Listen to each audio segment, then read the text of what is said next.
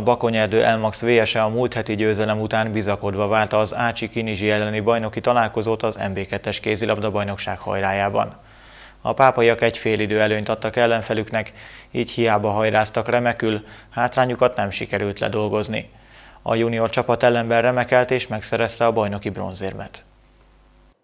Pocsék rajtot vettek a pápaiak, a vendégek hamar elhúztak és a időre hat góllal vezettek. A második játékrészre feljavult a pápaiak játéka, Pilter Levente fontos védésekkel jelentkezett, Rót pedig jól mozgatta támadásban a társakat. Fel is zárkózott a vasas, de két gónál közelebb nem sikerült kerülni. Kapcsándi Zsolt a gyenge első félidei teljesítményben látja a vereség okát. A második félidő azért már jelentősen mutatta, hogy jobb erőket képviselünk. Nem tudtuk kihasználni azt, hogy rövid padja van az ácsnak, vagy hát volt.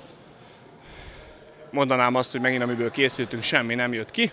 Amikor meg már úgy éreztük, hogy mindegy, akkor elkezdtünk egy kicsit felszabadulni, akkor jobban ment a játék, a végére meg elvesztettük a fejünket, egy kis keverc volt egy téves játékvezető ítéletből, de ezt akkor sem lehet így reagálni. Tehát itt higgadtak kell maradnia mindenkinek, ez nem utcai ilyen betelepültünk egy sportcsarnokba, azt álljunk neki, dobálgassuk a labdát. Ez egy amatőr szervezet keretek között működő sportegyesület, ilyen fegyemezetlenséget nem engedhetünk meg magunknak.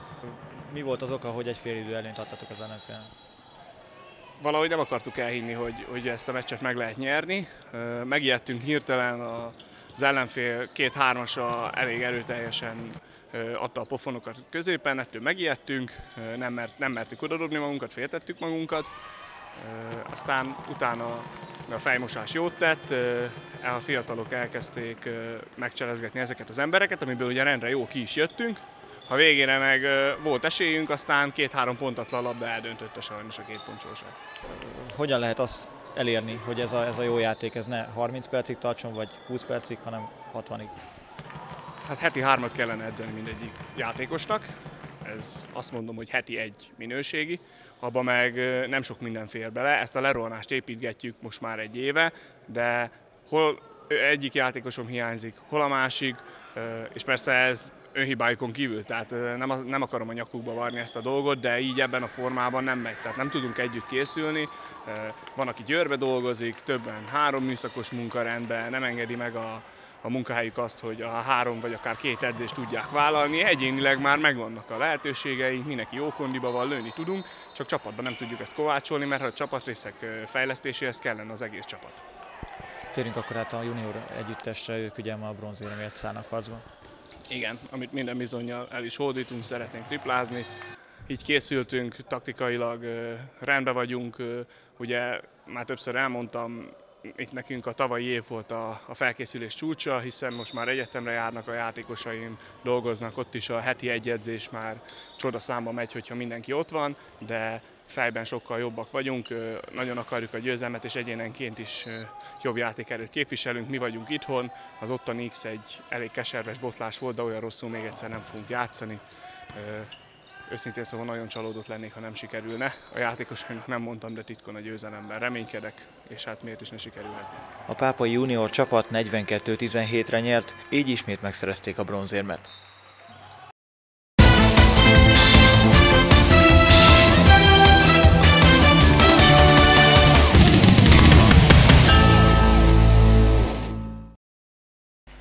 A Titán Ese versenyzői az elmúlt időszakban három versenyen képviselték városunkat. Csehországban Európa egyik legrangosabb junior versenyét rendezték meg, ezt követte a szlovák világkupa, végül a hazai nemzeti bajnokság. Az erős nemzetközi és hazai mezőnyben a pápaiak remek eredményeket értek el.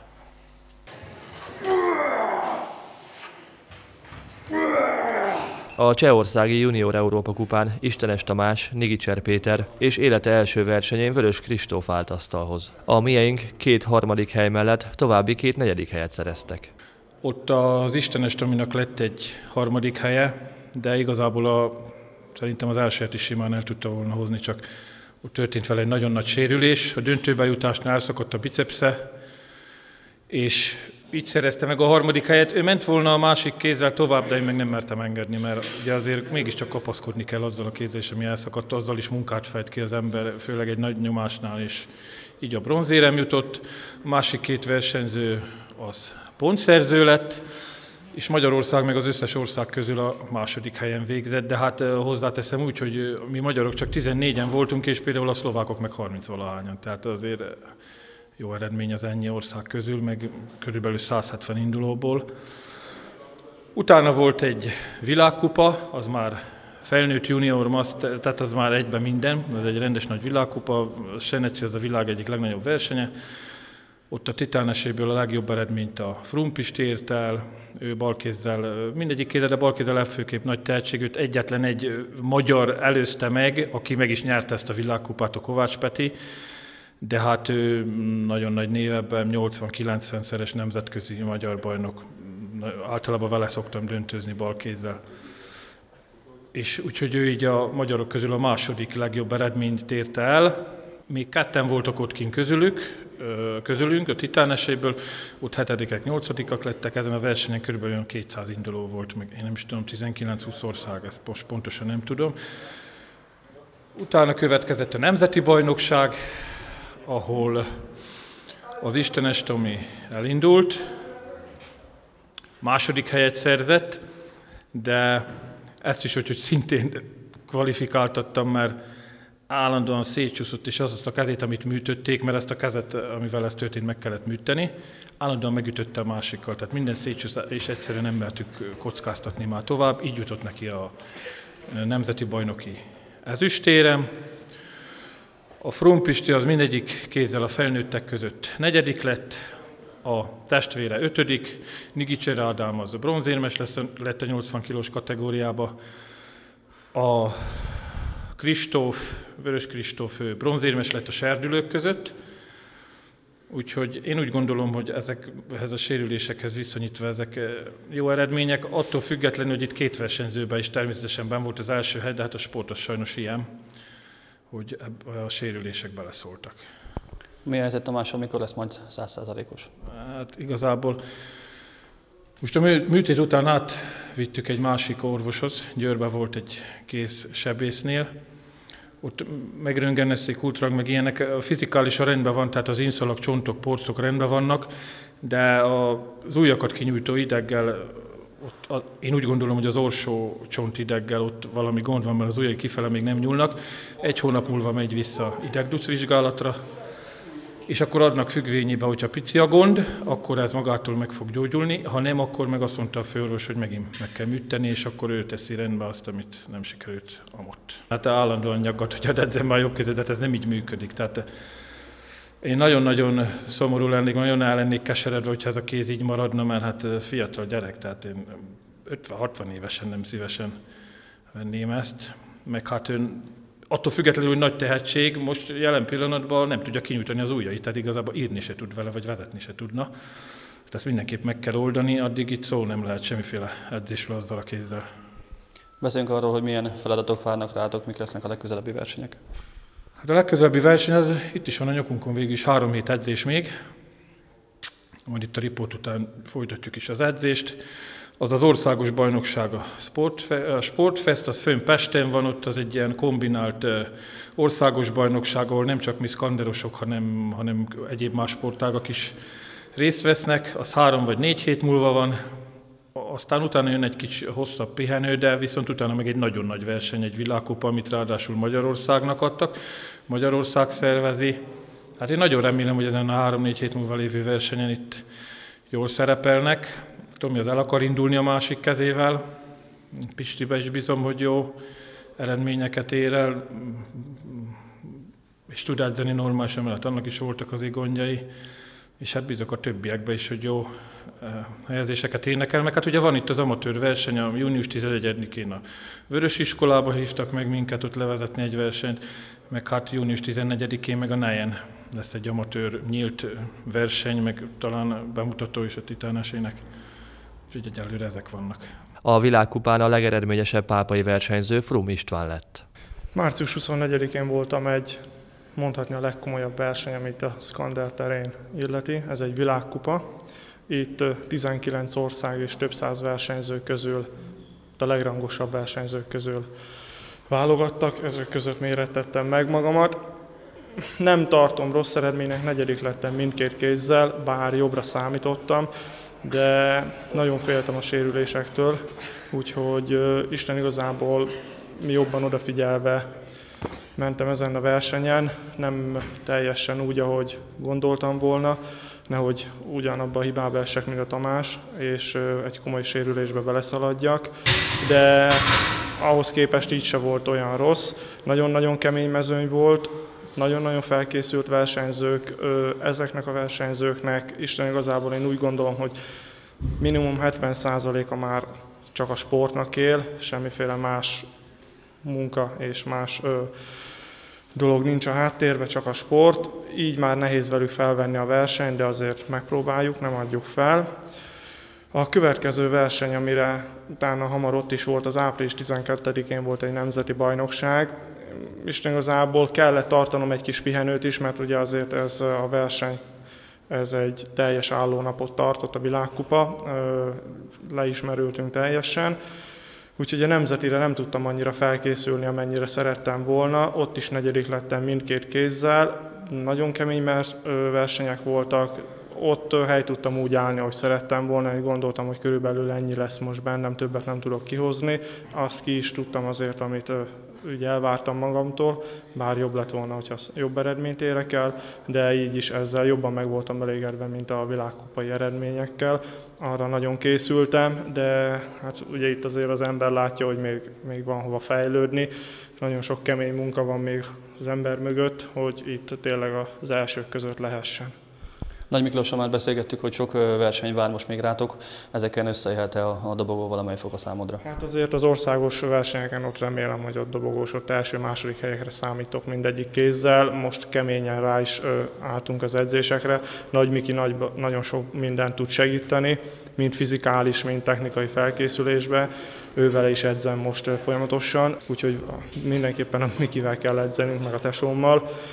Hát az országoson ott remélem, hogy ott, ott ahogy kell, ott hely tudunk állni, és az elsőkbe, az első helyeken ott tudunk lenni mindegyik kézzel. Folytatás tehát a Budapesti Sportfesten, majd a Világkupán. A titánok eredményeiről természetesen beszámolunk.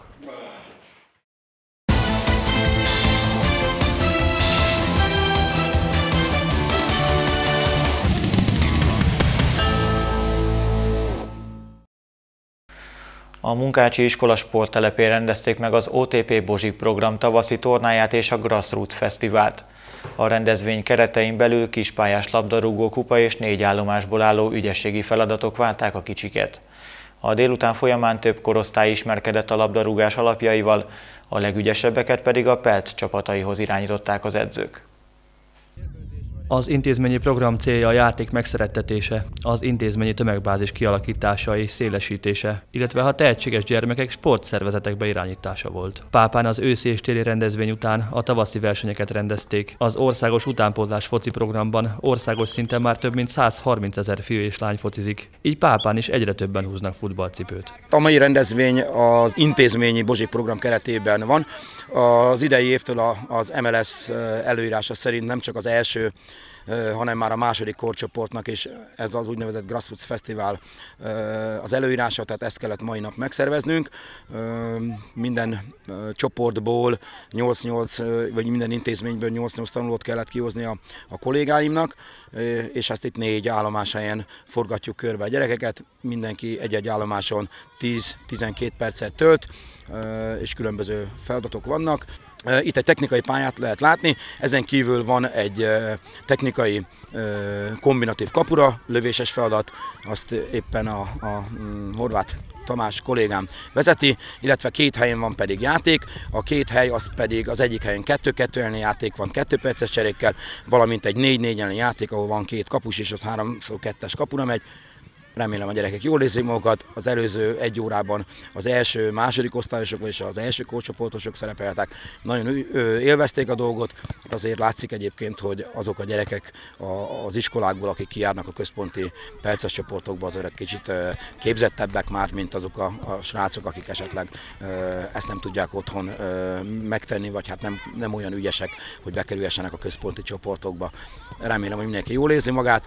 Ezen kívül még egyébként a nagyobbaknak gyakorlatilag pedig torna jelleggel zajlik a mai nap, tehát a harmadik korcsoportosok, ötödik, hatodik osztályosoknak a műfőn van a tornája, ott már végeztek a lányok, tehát a lányok is már befejezték a tornájukat, valamint a negyedik korcsoportban is megvolt a, a, a torna gyakorlatilag ezzel a, a Grassroots Fesztivállal egy időbe fog véget érni a harmadik korcsoportos torna is. Elsősorban a technikai fejlesztésnél, itt amit mögöttünk látszik, ez elsősorban a, a, a két oldal fejlesztése, tehát a bal és a jobb oldal, balláb, jobbláb azonos arányú fejlesztését szolgálja.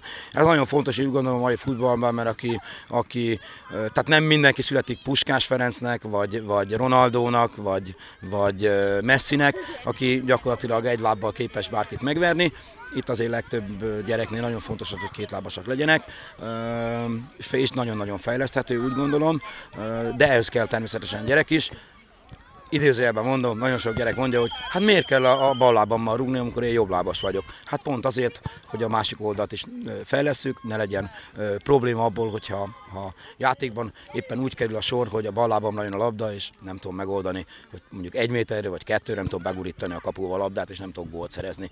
Úgy gondolom, a gyereknek is fontos, hogy, hogy sikerélménye legyen akkor, amikor arra éppen szüksége van, és ez csak úgy lehet, hogy ezt tudatosan és cél, célirányosan fejlesztjük. A gyerekek ezt játéknak vagy feladatnak fogják fogják fel? Hát én úgy gondolom, remélem, hogy játéknak fogják föl, egy játékos feladatnak, aminek megpróbálnak megfelelni, nyilvánvaló.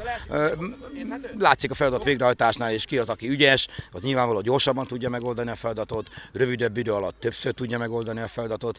Hát ez egyénre szabott nyilvánvaló, de igyekszik a kevésbé ügyes is utolérni, mert látja, hogy a, mellette lévő társa, vagy párja, vagy ellenfele az jobban és pontosabban tudja megoldani a feladatot, és ez nyilvánvaló véleményem szerint ez ösztönzi azt a gyereket is, aki, aki hát kevésbé ügyes.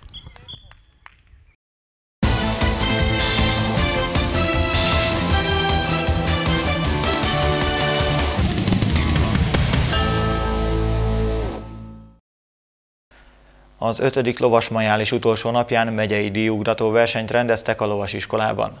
Az esős idő ellenére rekordlétszámú nevezőt regisztráltak a szervezők, közel 200-an szálltak nyerekbe a bajnokságon. A mezőnyben ott voltak a Pápai Lovasklub versenyzői is, akik szép eredményekkel kezdték a versenyszezont. A lovas majális utolsó napja mindig a díjugratóké, nem volt ez másként idén sem. A versenyszezon első pápai megmérettetésére nagyon sokan neveztek, közülük négyen hazai színekben pattantak nyerekbe. Kocsis László elmondta, bízik a pápaiak jó szereplésében. A vasárnapi nap az általában mindig a díjugratóké. Igazából nagyon nem is tudunk show számokat berakni, mert olyan sok induló van, azt mondom, hála Isten, mert végig is azért rendezzük ugye a verseny, minél többen jöjjenek el hozzánk, és én azt hiszem, hogy egy kicsit ezt úgy rangsorolja is az, hogy ennyi nevező lett ezt a versenyhelyszínt, mivel ilyen még soha nem volt, közel 200 nevező van, és hát az mind valószínűleg el is fog startolni a mai nap folyamán. Volt egy kis eső még reggel, úgy láttam, hogy a pályának igazából nem ártott. Remélem, hogy későbbiek folyamán se lesz, lesz a talajjal probléma. Jelen esetben a kisebb számok zajlanak, itt a 90 centi 1 méteres számok, délután folyamán lesznek majd a magasabbak, amikor ugye már 110-120 cm-es pályán kell a teljesíteni. Minek köszönhető, hogy ilyen szép számú induló van ma? Hát talán ugye egy, ez, hogy az év elején vagyunk, ugye ilyenkor általában mindig azért több lovas nevez, ugyanakkor a, a mostani időpontban itt a környéken, úgy mondom, a Dunántúlon nincsen más verseny, és ugye hála Isten nagyon sok megyéből, Zala, Vas, Győr, Sopron, Komárom, Fejér, Veszprém, hát nem is tudom pontosan elmondani, hány megyéből jöttek ide most hozzánk, és ráadásul még a múlt hét végén, amikor lett volna egy verseny Vas megyében, az az időjárás viszonyok miatt elmaradt, tehát azt hiszem, hogy ez, ez is csalogató volt. Meg hát azt hiszem talán ad is, hogy most már évek óta ugye rendezünk itt, most már 20 éve több mint 20 éve rendezünk itt diugrató lovas versenyeket itt májusba, és ugye a lovasok általában úgy mennek át tőlünk mindig, hogy meg vannak elégedve ugye a pályával, a versenyen, a rendezéssel, az infrastruktúrával, lovakat el tudják helyezni boxokba, tehát mind minden hozzájárul ahhoz, hogy, hogy most ilyen sokan jöttek. Milyen besorolású ez a verseny, mekkora a presztízs ennek a bajnokságnak? Hát igazából itt az évelején vagyunk, ugye az úgynevezett megyei forduló, de ugye nem zár ki, tehát az ország bármely megyéjéből jöhetnek, nyitott ez a rész. Itt csak a, igazából az elnevezése van meg neki, hogy ugye a, vannak a megyei versenyek és az országos versenyek, ugye itt a megyék rendezik, az országos pedig az országos szövetség rendezi. Hát igazából ugye most nálunk a megyében, meg hát itt a Dunántúlon is talán ez a második, harmadik rendezvény nagyon korábban, áprilisra volt egy-két verseny, májusban igazából nem. Van-e pápai induló? Igen, van pápa indul, a Győr Gábor ment itt az első versenyszámba a B0-ba, most a kezdő lovasok versenyszáma zajlik, ebben nincsen lovasunk, de viszont a, a következő B1 nyitottban már lesz Bömszabolcs, Kiricsi Kata, Győr Gábor újból szintén, tehát ott már lesznek pápa indulók. Mennyire vannak jó formában? Hát a tegnapi nap, ugye tegnap C1-es versenyszámok voltak, ugye úgynevezett sódi ugrató számok, ott a Bömszobocs két első helyet hozott, azt hiszem, hogy ez, ez remélem, ugye, hogy folytatódik ez a, ez a sikár, hogy a mai nap is tudunk helyezéseket elérni, ne talán még első helyet is. Győr volt most az első szám egy verőhibája, a Kata aki tegnap ugye indult korlátugratásba, sajnos hibázott, tehát nem lett helyezve. A tegnapi nap még, amikor volt az úgynevezett ló, lovagolj és hajcs versenyszám, ugye, amit a Bömszabolcs nyert, a Torgárgő ott pedig egy ötödik helyezést tudott elérni. Ugye ő is fog indulni még itt a mai nap itt a nyitott versenyszámban, hát remélem, hogy Leopold jó formában lesz ma is.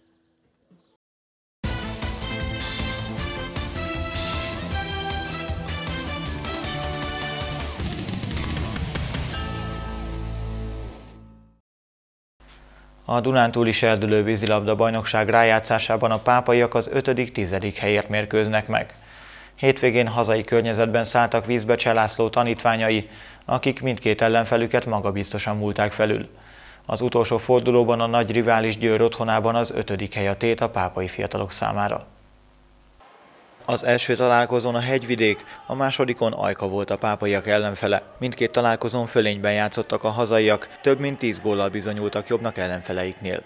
Cselászló ennek ellenére nem volt elégedett csapata teljesítményével. Mind a kettő csapat, aki ellen játszottunk, az Ajka, az utóbbi, akit 18-ra vertünk alig, hanem nem is tudom, tehát több mint 10 góllal, az első meccsen pedig a Hegyvidék, akit szintén több mint 10 góllal vertünk, gyöngébbek nálunk ebbe a csoportba, mi vagyunk a Győrrel a legerősebbek, és ővelük fogunk játszani majd a végső ötödik helyér az utolsó fordulóba, ami Győrbe lesz. Most ezt a Győrt már egyszer megvertük a rájátszásba fönt Pesten, a Monparkba.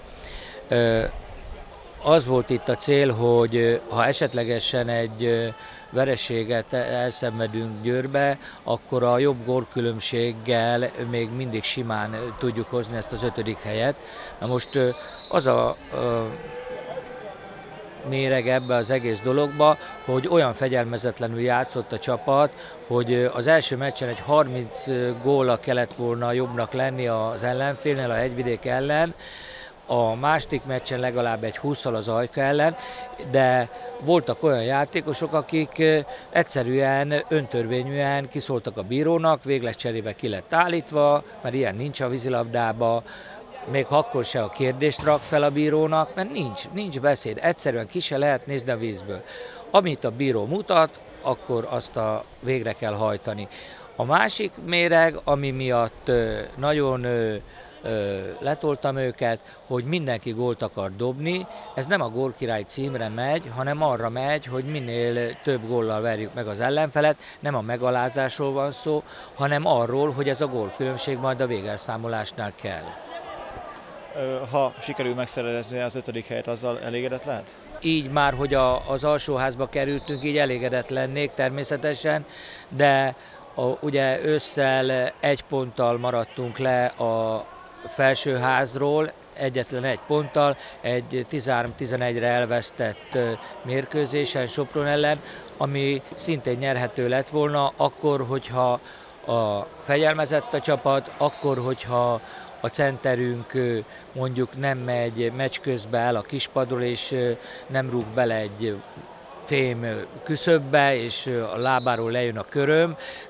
Azon kívül a bekkünk az nem állítatja ki magát fölöslegesen. Szóval ezek mind-mind olyan hibák, amiket ezeknek a játékosoknak már nem szabadna elkövetni, mert ezek a játékosok már két évet játszottak a gyerek csapatba, utána ez a harmadik évük már, illetve második évük már a serdülőbe. Ez az utolsó éve körülbelül öt játékosnak, a 97-eseknek, akik már jövőre az IFI korcsoportba fognak felkerülni, és itt volt a nagy lehetőség, hogy esetleg egy harmadik helyet elcsípjünk ebbe a Dunántúli kibővített bajnokságba. Na most az, hogy az edzés látogatottság, akkor a, a meccsen való fegyelmezetlenség ezt nem hozta meg, ez nem az én hibám, úgy érzem, a játékosoknak egy kicsit magukba kell nézni hogyan lehetne javítani a sorsdöntő győr elleni mérkőzésig a, a, a fegyelmezettségi problémákon? Hát természetesen most megbeszéljük ezt a két meccset, kielemezzük, és akár mennyire is fáj, de a fegyelmezetlen játékosoktól meg kell, hogy váljak, mert tűrhetetlen az, hogy ezek a játékosok 4-5-6 éve vízilabdáznak, és ilyen rossz példát mutatnak a gyerek 2, gyerek 3 csapatnak, Sajnos nem tudok más tenni, fegyelmezni kell, még akkor is, hogyha kevesen maradunk. Tudni kell azt, hogy 51 fővel indultunk el a, az őszi szezon előtt, tehát egy augusztusi, nagyon kemény, három hetes alapozással, 51 fővel.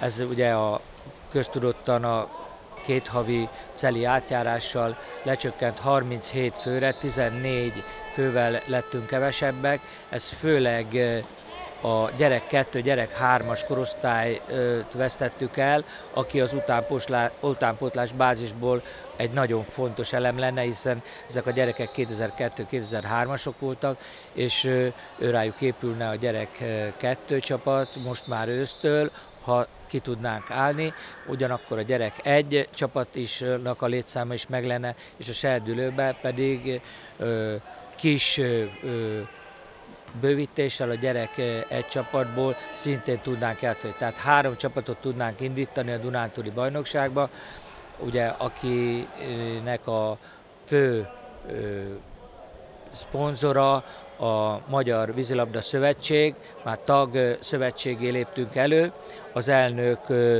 ö, úr ö, teljes jogot adott a Dunántúli Vízilabda Szövetségnek, és úgy néz ki, hogy ez a társaság, ez a Dunántúli társaság bővülni fog. Tehát idáig főleg a, a Pécs, Kaposvár, Székesfehérvár, Sopron, Győr, Pápa szállt be ebbe a bajnokságba, illetve a Fűzfő, most ugye a Ajka és a Hegyvidék, és a Dunántúli csapatok közül Dunaújvárost, illetve Székesfehérvárt a Serdülőbe, valamint a Szombathelyt, aki idáig az országos bajnokságban játszott, akarják bevenni, tehát eleve két vagy három csoportra osszák majd ezt a bajnokságot, és ebből a szempontból sem mindegy, hogy hol végez a csapat most, mert az erőbesorolásnál ugye ez majd a végeredménynél számítani fog.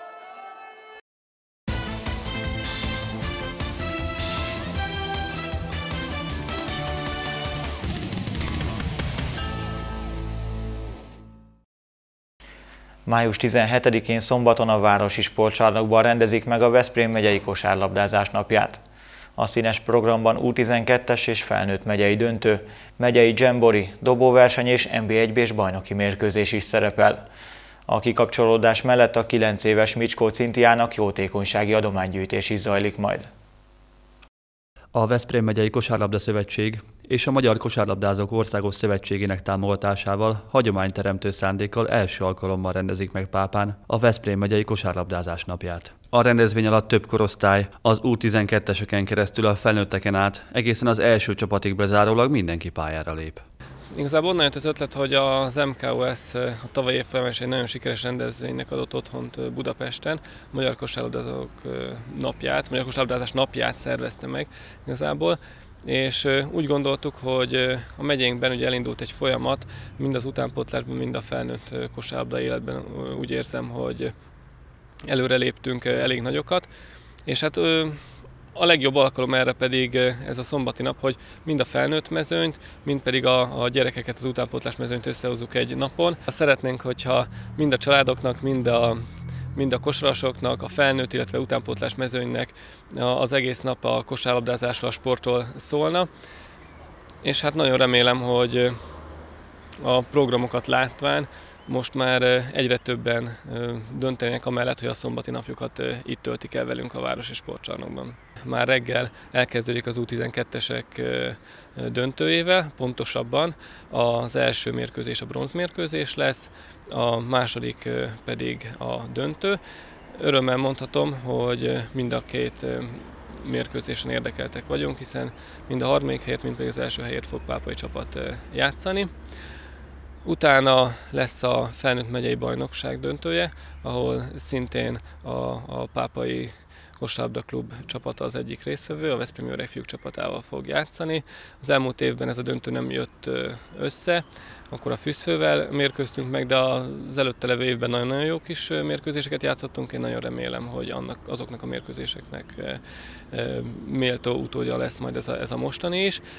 A program közben, illetve a mérkőzések közben családi dobóversenyek, ügyességi versenyek a gyerekeknek lesznek értékes ajándékokért majd pedig a, a felnőtt megyei döntőt követi a legkisebbeknek az eseménye, az úgynevezett megyei Jambori, aminek a keretein belül az első-másodikos általános iskolás gyerekek ö, több városból is megyeszerte jönnek el hozzánk, és ö, játékos, ügyességi vetélkedőn fogják megmutatni, hogy mennyi mindent tanultak ebben a tanévben.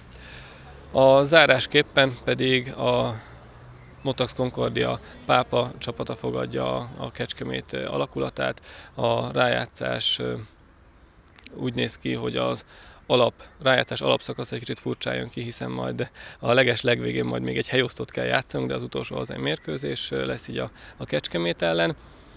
És itt szeretném megköszönni a támogatóknak a hathatós segítséget, akik nélkül nem jöhetett volna létre ez a, ez a program, hiszen a Magyar Kosabdázók Országos Szövetsége, a, a, a Veszprém Megyei Kosabda Szövetség, a Pápai Kosárlabda Klub, mint egyesület nagyon-nagyon sokat segítettek, a, mind a rendezésben, a szervezésben, és hát azok a szponzorok, akik felállították az értékes nyereményeket, így például a Pápai Termál, illetve a Pápai mozi, a Bakonyerdő, és hát nagyon fontos még, hogy a belépés a támogatóknak köszönhetően díjmentes. Amellett, hogy a kosárlabdáról, illetve a sportról, a mozgásról szól a nap, egy jótékonysági gyűjtést is szerveztek.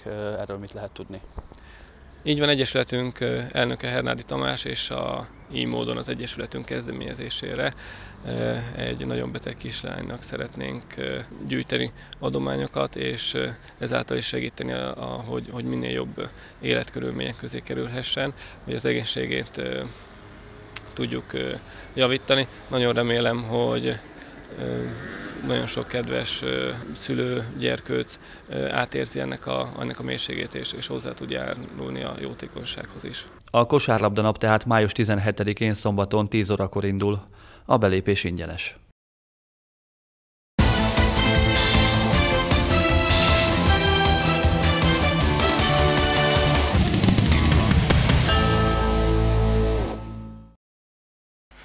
Négy versenyszámban mérették meg magukat a városi és környékbeli iskolák második, harmadik, negyedik korcsoportos tanulói a Munkácsi iskola sporttelepén rendezett több próba atlétika bajnokságon. A futószámok mellett kislabdadobásban, távolugrásban és súlylökésben döntötték el a tanulók, kik képviselhetik városunkat a megyei döntőn. Kiváló időjárási körülmények között a vártnál kevesebben vettek részt a kétnapos viadalon, melyen egyéniben és csapatban is díjazták a legjobbakat, akik mivel felmenő rendszerű a verseny, a megyei fináléra jutottak tovább. Most a verseny elején vagyunk még, jócskán, vegyőszerett verseny, öt versenyszámban mérik össze erejüket fiúk és lányok is.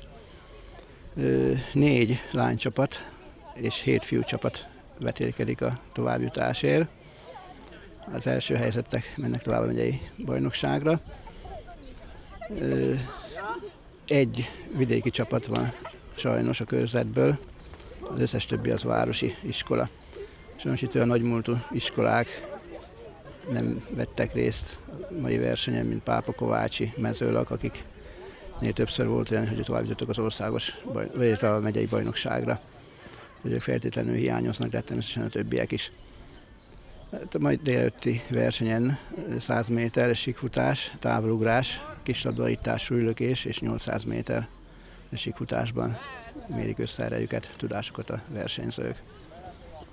Említette, hogy még csak a verseny elején járunk, ennek ellenére eredményekről tudunk-e már beszélni, mennyire felkészültek a versenyzők? Hát nem nagyon lehet eredményekről beszélni, még jelenállás egy, maximum két versenyszámot végeztek gyerekek. Átlagos, hogy nem tudok kiemelkedő eredményről eddig. Mire lehetnek képesek majd a megyein, ott mennyire erős a mező, hogy mennyire ismeri? Hát Veszprém, az nagyon erős lesz, abban biztos vagyok.